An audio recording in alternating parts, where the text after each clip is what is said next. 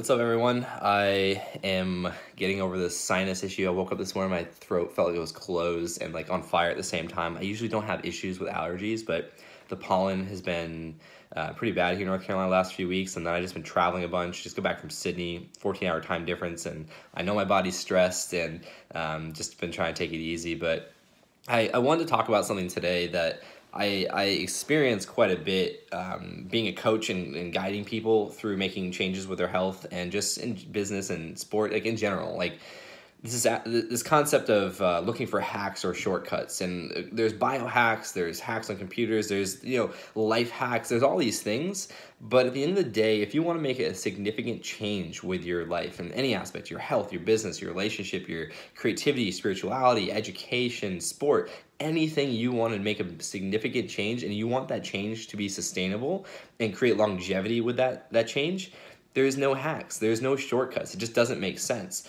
and I find that it's this, you know, social media is amazing. It's an amazing tool. It's allowed me to connect with all of you watching this, um, share my story and my message and my purpose around the world, and connect with so many great people and, and brands and organizations and collaborate to help people. But at the same time, it, it, it's all about perspective and understanding because the fact of the matter is, myself you and anyone you follow, you only see who you're following, you only see what they allow you to see.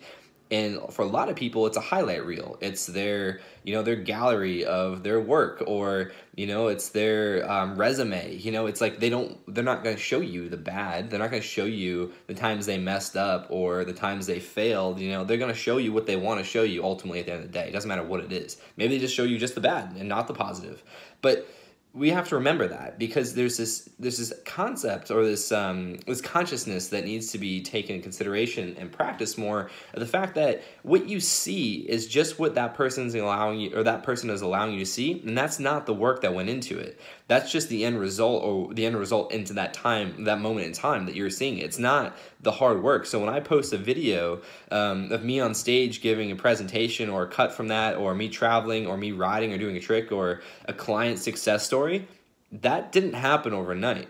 That didn't happen over a week or a month. That happened over years. Um, a lot of things being built up, and a lot of people say, "Oh, you're so lucky," yada yada yada, and it's like, am I? Am I lucky? You know, and personally, when people tell me that, I'm like, I live with four brain tumors. Like, is that lucky? Like, I don't think so. Um, it's my perspective and my choices moving forward that have allowed me to move forward. But, you know, I don't believe in luck. I believe in preparation, hard work, and opportunity, and those things coming together. And as long as you act and you take that opportunity, you know you'll be considered lucky but really it's not an overnight success. It's not luck. It's you put the work in and you put yourself in situations to manifest an opportunity to take action to manifest the result you're looking for.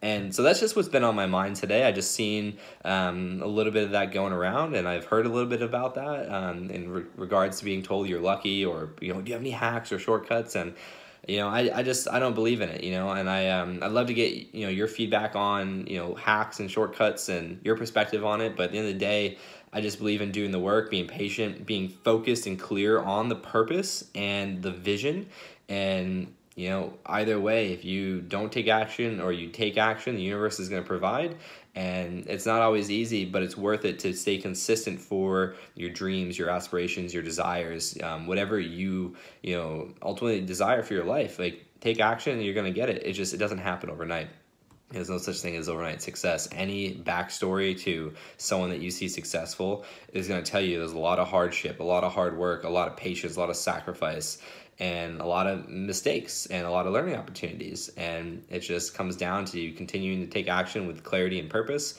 And an opportunity presents itself, and then you know fear may show up, but you got to push through it. And that's that's what I've been doing. I've been speaking on stage for about a year now, and it's amazing, you know, um, where I am today and where I never thought I'd be, and then where I've come from. So, um, yeah, at the end of the day, I don't believe in hacks or shortcuts or overnight success. I believe in doing the work, putting the work in, being patient, clear in your purpose and your vision and then waiting for opportunity or creating opportunity by taking action and then you know pushing forward. So love to hear what you guys think. Love you guys. Appreciate the support. Peace